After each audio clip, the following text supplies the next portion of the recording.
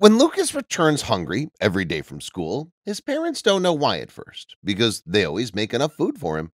Lucas doesn't want to share the reason behind that. It seems that Lucas was afraid of something or someone. Lucas's parents decide to go to the principal, who also had no idea what was going on. When they asked his classmates, they revealed something no parent wanted to hear. Colleagues told his parents and principal that Lucas said he'd never received food from home. They just thought he was very poor. Lucas's parents were confused. Something must happen in the hall or on the way to school. The director promised them that he would solve this. Lucas was invited to join as well. He instantly burst into tears when they started talking about the food. But something strange happened, and Lucas still felt uncomfortable talking about what was going on. He didn't want to share anything. Lucas's parents were devastated. Then one of his teachers was called, and he had something very interesting to share. Recently, a substitute teacher has started acting very suspiciously around Lucas. This could be the one who made something out of Lucas's lunch. But what's his motive? The substitute teacher was called. Upon entering the principal's office, he immediately changed his attitude when he saw Lucas and his parents. He told them he had no idea what they were talking about, but he wasn't convincing. The principal spoke privately with the substitute teacher. He continued to deny that he was involved. In the meantime, another teacher came to comfort the parents. The teacher knew something was up with the substitute teacher. Also, Lucas's parents had to act. They were called back to the principal's office. However, they told them that he couldn't do anything because they didn't have proof. Lucas didn't want to tell them anything, and the teacher didn't give anything either. They had to come up with a different plan to catch him. In the following days, Lucas returned home without speaking to his parents. They still thought that the school visit didn't help at all. They had no idea what they had to do yet, but they were determined to make sure the substitute teacher paid for it. Lucas's father, Thomas, got tired of this. The next day, he decided to confront the substitute teacher, Callum, alone. He grabbed his coat and drove to school. After class, he entered the classroom. Callum was extremely surprised when Thomas entered. Callum remained calm when Thomas decided to confront him. He told Thomas it wasn't what it looked like. The conversation was brief, but also quite awkward for Thomas, leaving him with even more questions. The conversation with Callum set off alarm bells in Thomas's head. It's not that the professor had said anything particularly troubling, but he was just getting a really weird vibe from him. Thomas wasn't sure what to think, but he definitely wanted some more answers and was determined to do what he could to find out more. Callum went on to tell Thomas not to worry about it and that everything was perfectly fine with Lucas. But Thomas knew in his heart that wasn't true. He came home extremely worried. The conversation did nothing to make him feel better. In fact, he felt even worse. He Googled Callum's full name and couldn't find much about him. He doesn't seem to have any social media, and he doesn't seem to be mentioned anywhere online except on the elementary school website. What could be on that site that had to do with the new professor? He was listed as one of the teachers there, but stated that he was no longer active at the school. Thomas called the school to get some information about why Callum was no longer working with them. He wanted to know more about what was going on and the reason why Callum had left the school before he was. Now, Thomas was even more worried. What the hell was this teacher doing with this little boy during dinner? Thomas directly asked Lucas if something was going on with his teacher that he needed to know. He wanted to see his reaction when he talked about Callum, and he didn't like the result. Lucas looked almost scared when Thomas asked him that. He stammered that nothing was happening and that Thomas had nothing to worry about. But he definitely does. He wasn't convinced, actually. Now he was even more sure something was going on, and he wanted to know what it was. But Thomas immediately realized what he was saying.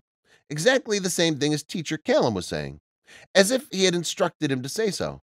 There had to be an explanation for what was happening, but it could be something innocent. Thomas definitely didn't think so with the behavior he was witnessing from Lucas and Callum.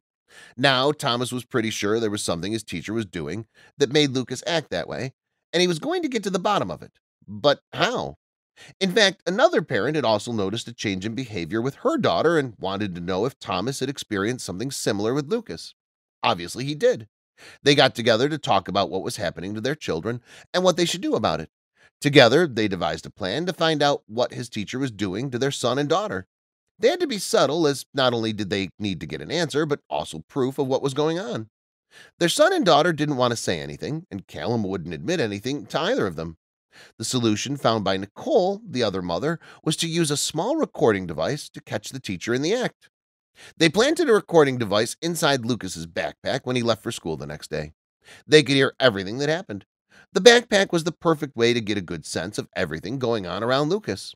They could hear how he interacted with the bus driver and the other kids at school. They could also hear how the other teachers treated him and how he was doing in class. The recording device let them hear that Lucas was struggling in some other areas as well, and they were sure Callum was to blame, but they just weren't sure what exactly was going on. At least not until Lucas walked into the classroom with Callum and they could hear everything. Thomas was definitely not prepared for what he was about to hear. He heard Lucas enter the classroom and interact with other students, but when Callum entered the classroom, he saw something totally different than what he expected. Callum started his class in the normal way. It didn't look like anything was happening. However, the entire class was very quiet, as if they didn't dare speak to Callum. It was very strange for Thomas that everyone suddenly behaved like this. This was not the same as in the other classes. Then it happened. One of Lucas's friends asked Callum something, and his answer shook Thomas. He threw his headphones on the floor. He was going to school right away. He didn't hesitate for a second. He had to confront Callum. This wasn't right. Thomas could barely contain himself. What did he hear?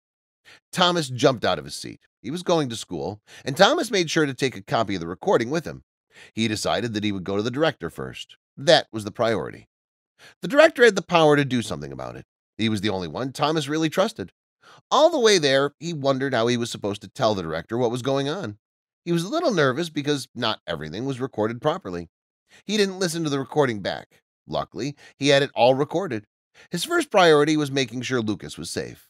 That was the only thing he could really think about. Thomas arrived quickly at the school. He didn't inform any of the other parents. He had to do this alone. He knew that what he had done was illegal, but it was for his son's sake. Lucas is everything to him, and he would do anything to protect him at all cost. He then knocked on the principal's door. Director Paul was really confused. Thomas was out of breath and wanted to tell his story right away. He offered Thomas something to drink. He begged him to calm down. Then Thomas began to explain. Paul didn't know what to say. He wanted to hear the recording for himself. It couldn't be that something like Thomas just described was happening at his school. He didn't know Callum well, he was only here for a short time, but based on his conversations with Callum, everything seemed to be going well. Then he began to listen. Paul took his time to make sure he heard everything that was going on. He asked Thomas not to interfere and not to go anywhere until he had listened to the entire tape. At first, he didn't hear anything out of the ordinary, but suddenly his attitude changed. They had to confront Callum, but first an apology was in order. Paul apologized to Thomas because the school will not tolerate Callum's behavior. They will never tolerate that at school. This was not how they wanted to present themselves to other parents. Paul wants a safe environment for every child at his school. That was not allowed here. Thomas accompanied Paul to confront Callum about his actions, and Thomas was furious. Thomas wanted to see Callum in person, but he was told to leave it unspoken. Paul knocked on Callum's classroom door. They entered the room, and Lucas was surprised to see his father. He looked relieved to be there. Paul asked Callum if they could talk to him outside of class. Callum was really confused about what was going on, but he nodded. He had Paul explain everything he heard to Callum. Callum was shocked. He didn't know what to say at first. It looked like he wanted to cry. Thomas was surprised by this. Callum just didn't realize what he did. Callum began to explain himself to the two men. At least he tried. He treated the children very disrespectfully, which is why they didn't want to attend any of his classes. He didn't know how to properly work with children. Callum continued to stutter. He'd never worked with children before and treated them more like adults. Then the food time came. Callum looked taken aback by Lucas's lunch comments. He had no idea he had gone for this. Callum had a clear explanation for this, now that everything was on the table. Then, suddenly, Lucas walked in. Thomas had already called the police. Lucas told Paul and his father that they had nothing to worry about. They were confused. They thought they were helping Lucas, but he also had some things to say. He didn't want to talk about it because he was too sensitive. He started by explaining that he was working together with Callum on something very important, which is why he didn't want to talk to his parents about it. Thomas was now even more confused. He had to know everything. In the meantime, the police arrived. They came to ask questions too. It was all a big mess. Thomas should never have called the police in the first place. Callum decided to answer all the police's questions about his past as well. And when they talked to Lucas alone, he decided he's going to spill the whole lunch story. He was hungry every day for a very good and wonderful reason, but he didn't want to upset anyone. Lucas was very emotional when telling the story. One day, he came to school to see Callum helping other students in his class. Lucas asked Callum what was going on, and Callum told Lucas something that triggered everything. The boy was very poor, never received lunch from his family. That's when Lucas told Callum he didn't need his own lunch and gave most of it away. He came up with a plan to tell everyone that Callum had thrown it away. Callum agreed that he would take the blame. They just didn't want to alarm any parents. The boy needed to feel like he's good and not weird. That's why Callum and Lucas decided to keep a low profile. They kept it secret for a long time until someone else in the class found out about the other kid. So Callum decided to play the villain. Thomas was very proud of what Lucas had done for the good of the entire school. After school, Lucas came home very happy. Thomas was relieved that his son was back to his old self. Lucas's parents decided to help the boy. Thomas decided to give Lucas two lunch boxes every day. Everyone's happy. The child never has to go hungry again. Lucas felt like the absolute hero of the day. Nobody else knew what was going on.